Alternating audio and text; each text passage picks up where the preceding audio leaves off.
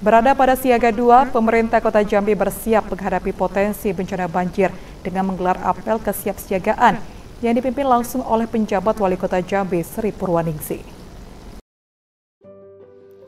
Bertempat di lapangan Mako Dinas Pemadam Kebakaran dan Penyelamatan Kota Jambi pada Sabtu 13 Januari 2024, pemerintah Kota Jambi menggelar apel kesiapsiagaan yang dipimpin langsung oleh penjabat atau PJ Wali Kota Jambi Sri Purwaningsi dihadiri oleh berbagai pihak, dua termasuk Kapolresta Jambi, Kastim 0415 Jambi, Sekda Kota Jambi, instansi terkait lainnya. Pada kesempatan tersebut, Sri Purwaningsi meminta agar seluruh Satgas Penanggulangan Banjir tetap siaga menghadapi kemungkinan terburuk.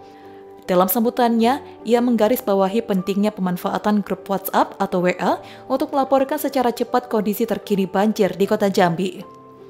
Sri Purwaningsi juga menyampaikan bahwa status banjir saat ini berada pada siaga 2. Dengan enam kecamatan melaporkan adanya banjir, terutama kecamatan Jambi Timur yang paling terdampak.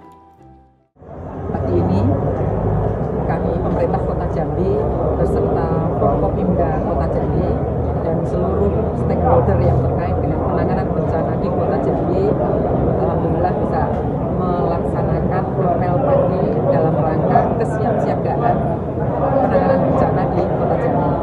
Kita sama-sama tahu bahwa Provinsi Jambi sekarang ini sedang mengalami bencana banjir.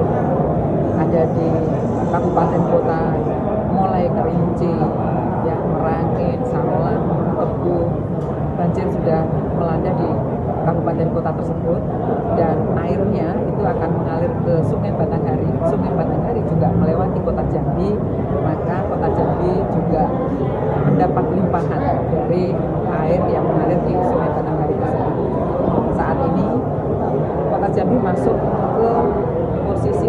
dua. Ada di beberapa kelurahan di enam kecamatan itu rumah-rumah warga sudah masuk air ke rumah warga kisaran antara 5 cm sampai dengan ya ada yang 50 cm